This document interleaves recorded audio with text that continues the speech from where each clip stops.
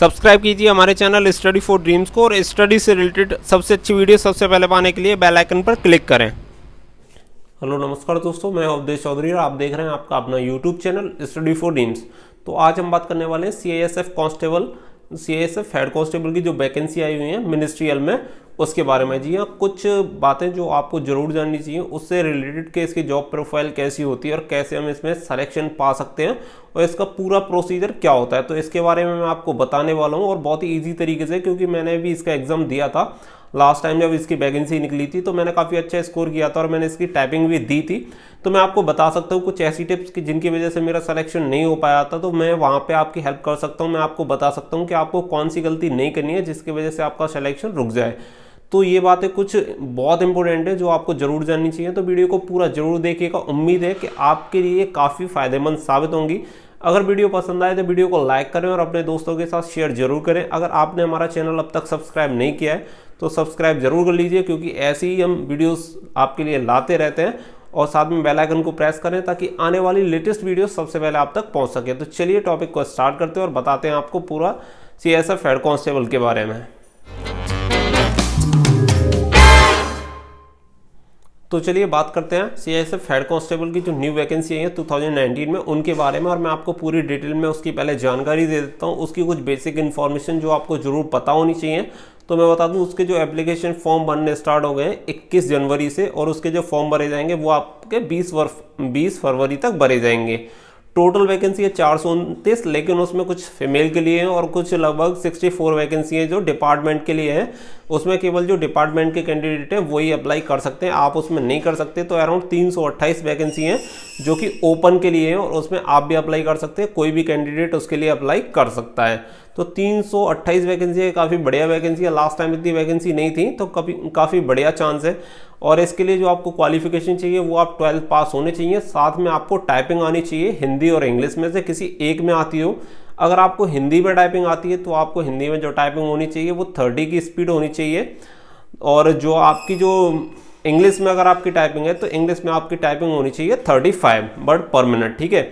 ये आपकी होनी चाहिए क्वालिफिकेशन के बारे में हम बात कर चुके हैं। अगर हम बात करें कि इसमें जो चार स्टेज में आपका ये पूरा होता है, चार स्टेज में आपका सिलेक्शन प्रोसेस है, चार स्टेज में फ़र्स्ट में जो आपका होगा, इसमें डीबीपीएसटी होता है डॉक्यूमेंट वेरिफिकेशन और आपका पीएसटी यानी फ़िज़िकल स्टैंडर्ड टेस्ट जिसमें केवल आपकी नापतोल होती है। नापतोल में आपकी चेस्ट और हाइट नापी जाती है।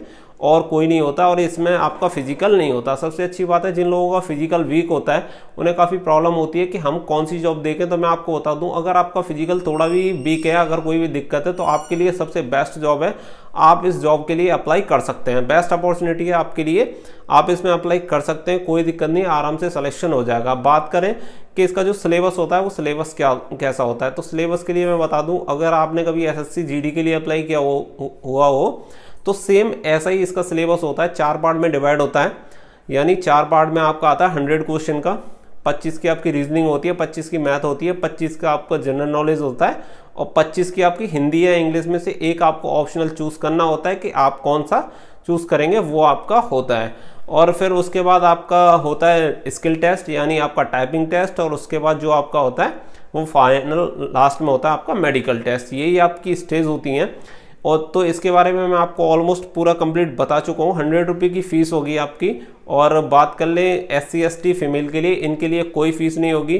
जो आपकी हाइट होनी चाहिए, वो 165 सेंटीमीटर होनी चाहिए जनरल और ओबीसी और एससी कैटेगरी में। अगर आप एसटी से बिलोंग करते हैं तो 162.5 सेंटीमीटर होनी चाहिए, यानी एक सेंटीमीटर आपकी हाइट होनी चाहिए। तो ये पूरा क्राइटेरिया है जो आपके पास होना चाहिए। अगर आपके पास ये सारी चीज़ें तो आप इसके लिए फॉर्म भर सकते हैं। जैसा कि मैं बता चुका हूँ, अगर आपका थोड़ा भी फ़िज़िकल वीक है तो सबसे बढ़िया अपॉर्चुनिटी है कि आप इसके लिए फॉर्म अप्लाई कर सकते हैं।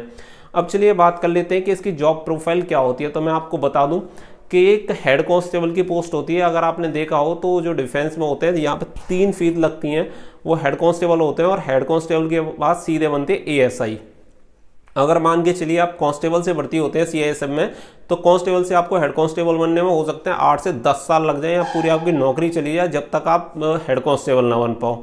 लेकिन यहाँ पे आपके लिए बहुत बढ़िया अपॉर्चुनिटी है। आप सीधे हेड कांस्टेबल में जा सकते हैं। अगर आप सीधे हेड कांस्टेबल में जाते हैं तो आप इंस्पेक्टर तक आराम से चले जाओगे, कोई दिक्कत नहीं और सबसे मेन बात ये डिपार्टमेंट इतना अच्छा है, क्लैरिकल डिपार्टमेंट है, आपको कोई दिक्कत भी नहीं होने वाली है इन फ्यूचर। और बात करें, जैसा कि आप सभी को पता है ये सी है। सी का आपको पता है कि काफ़ी बढ़िया काम होता है। जो भी औद्योगिक केंद्र होते हैं अपने भारत सरकार के, उन्हीं की सुरक्षा के लिए ये फोर्स लगाई जाती है। जैसे कि आपकी हो सकती है, ज़्यादातर सिटी एरियाज़ में आपकी पोस्टिंग होगी तो वहाँ पे आपके लिए, आगे के लिए स्कोप भी अच्छा है कि आप आगे के लिए तैयारी कर सकते हैं आराम से।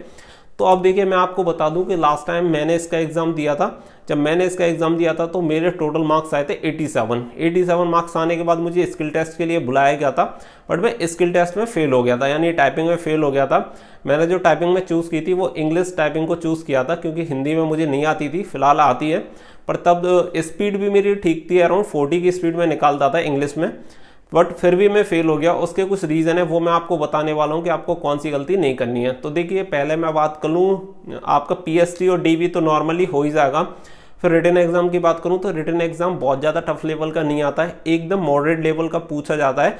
इसी की वजह से इसकी कट ऑफ़ भी हाई जाती है। अगर मान लीजिए अराउंड अराउंड कम से कम आपके 80 मार्क्स होने चाहिए जनरल कैटेगरी में तो आप। तब जाके आप एक्सपेक्ट करना कि आपका नंबर आ जाएगा, क्योंकि यहाँ पर टाइपिंग के लिए नंबर ऑफ़ कैंडिडेट बहुत ज़्यादा नहीं बुलाते हैं ये लोग। जैसे कि अगर बात कर लें सीआरपीएफ में सीआरपीएफ में अगर आप हेड कांस्टेबल का दोगे, आसानी से रिटर्न एग्ज़ाम पास हो जाएगा, लेकिन यहाँ पे आसानी से नहीं होता। बीएसएफ और सीएसएफ में इनकी कट ऑफ़ है जो हाई जाती है, क्योंकि ये जो रेशियो में ज़्यादा कैंडिडेट को नहीं बुलाते टाइपिंग के लिए। बट अगर आप मान के चलो, अगर आप रिटर्न एग्ज़ाम पास कर गए और आपकी टाइपिंग अच्छी है तो सिलेक्शन आपका डेफिनेटली श्योर हो जाएगा, क्योंकि बहुत ज़्यादा कैंडिडेट नहीं होंगे। तो अब रिटर्न एग्ज़ाम के लिए मैं आपको कुछ टिप्स बता देता हूँ। तो इन चीज़ों को आप नोट कर लीजिएगा।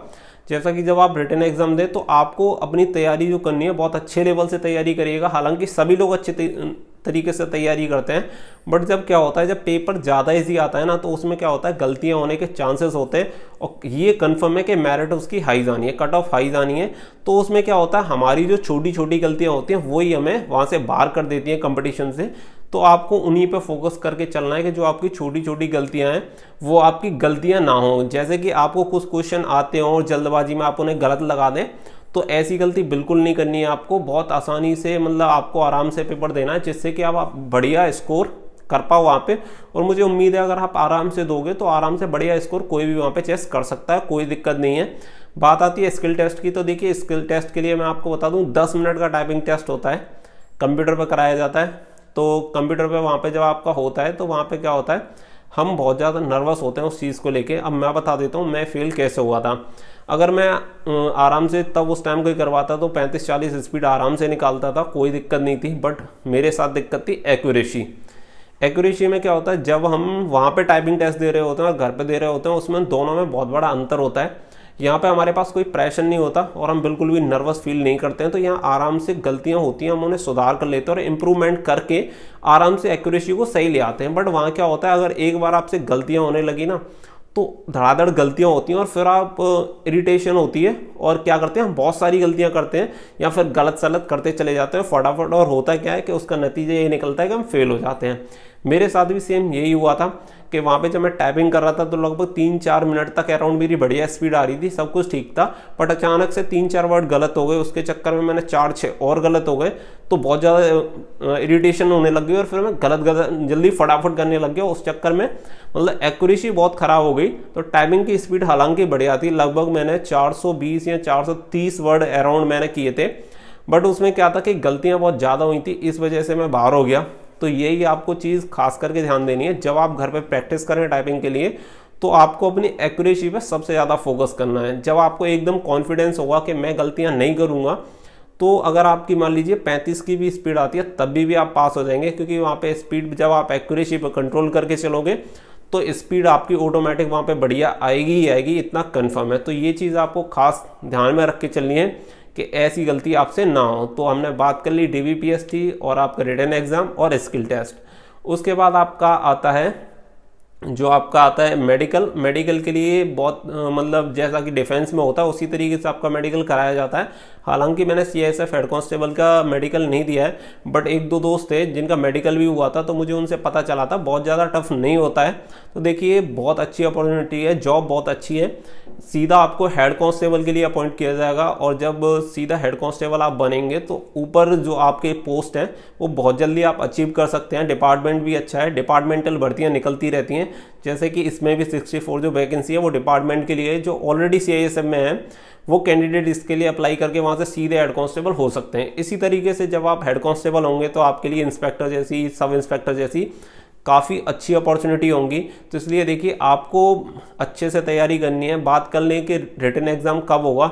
लगभग तीन से चार महीने के अराउंड अराउंड आपका रिटर्न एग्ज़ाम कन्फर्म है कि फरवरी आपका फॉर्म भरे जाएँगे। अब मार्च, अप्रैल, मई, लगभग मई, जून में आपका एग्ज़ाम करा लिया जाएगा। तो बहुत ज़्यादा टाइम नहीं होगा। आप इसे बिल्कुल लाइटली लेके मत चलना। कि बहुत ज़्यादा टाइम होगा या कुछ नहीं मेरिट बहुत ज़्यादा हाई नहीं रहेगी क्योंकि टाइपिंग टेस्ट होता है। तो मैं आपको डेफिनेटली श्योर बता रहा हूँ, इसकी जो कट ऑफ़ होती है काफ़ी हाई जाती है।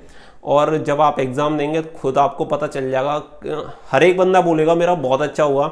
और 70, 75 प्लस सब ऐसे ही बताएँगे क्योंकि बहुत ज़्यादा फ़र्क नहीं रहता। जब पेपर बहुत ज़्यादा इजी होता है तो बहुत ज़्यादा पढ़ने ना पढ़ने वालों में बहुत ज़्यादा डिफरेंस नहीं होता। पढ़ने वाला दो चार नंबर ऊपर ही होता है लेकिन वो दो चार नंबर का गैप बहुत बड़ा बन जाता है आगे चल के। तो वहाँ पे वो इसी तरीके से होता है कि नंबर ऑफ़ कैंडिडेट ज़्यादा नहीं बुलाते और जो कट ऑफ़ होती है वो हाई होती है।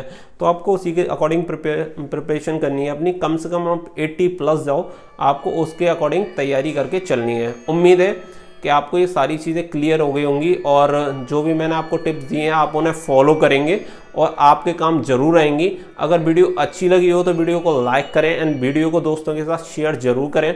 अगर आपने अब तक हमारे चैनल को सब्सक्राइब नहीं किया तो सब्सक्राइब ज़रूर कर लीजिए, क्योंकि ऐसी जॉब अपडेट्स हम आपको देते रहते हैं और आपके लिए नई नई इन्फॉर्मेशन लाते रहते हैं और आपको अपडेट रखते हैं सबसे पहले सबसे आगे। तो फ़िलहाल के लिए दोस्तों इतना ही। थैंक यू फॉर वॉचिंग जय हिंद, जय भारत।